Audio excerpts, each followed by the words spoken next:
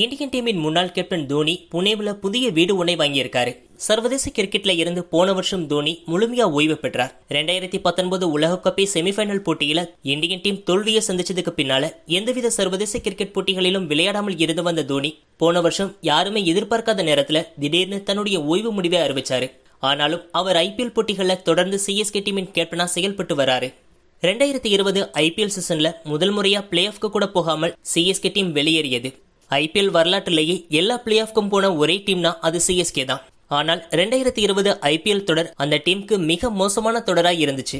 இருப்பினும் இந்த வருஷம் ஐபிஎல் தொடரில் வேற லெவல் கம்பேக் கொடுத்து ஏழு போட்டிகள் விளையாடி ஐந்து போட்டிகளை வின் பண்ணி புள்ளிகள் பட்டியலிலும் இரண்டாவது இடம் பிடிச்சது.